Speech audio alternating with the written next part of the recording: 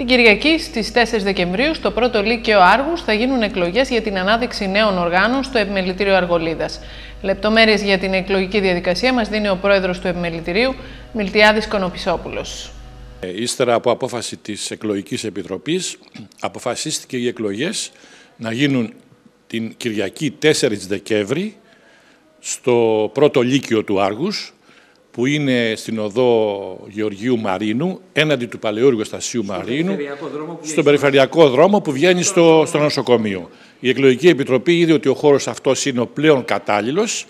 Ζητήσαμε σαν επιμελητήριο από το Δήμο και μας τον παραχώρησε αμέσως, οπότε ευχαριστούμε μέσα από το κανάλι σας το Δήμο γιατί ανταποκρίθηκε σε αυτό το αίτημά μας. Και οι εκλογές θα γίνουν, παραλαμβάνω, 4 Δεκέμβρη, ημέρα Κυριακή, κάτι που το Υπουργείο ε, συνέστησε οι εκλογές των επιμελητηρίων όλης της χώρας να γίνουν αυτό το Σαββατοκύριακο, δηλαδή να γίνουν στη 4 Δεκέμβρη για να έχουμε τα αποτελέσματα, αν είναι δυνατόν, ε, μία ημέρα. Τώρα, έχουμε κάποιες διαφοροποιήσεις όσον αφορά το προηγούμενο, τις προηγούμενες εκλογές.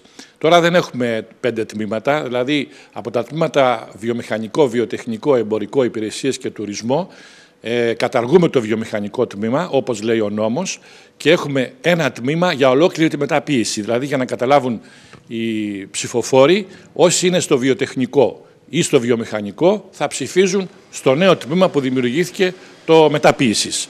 Και οι, οι έδρες παραμένουν συνολικά 21, όπως ήταν και ε, το προηγούμενο Διοικητικό Συμβούλιο, και η μεν μεταποίηση θα έχει 8 έδρες, το εμπόριο το εμπορικό τμήμα δηλαδή έξι έδρες, οι υπηρεσίες του επαγγελματικό που λέμε πέντε έδρες και το τουριστικό τμήμα θα έχει δύο έδρες αντί για μία που είχε το περασμένο Διοικητικό Συμβούλιο. Θέλω να πιστεύω ότι όπως πάντα οι εκλογές θα γίνουν με ομαλό τρόπο. Τα ψηφοδέλτια, όσα θα υπάρξουν, θα εκφράζουν οπωσδήποτε τις, ναι, τις απόψεις τους.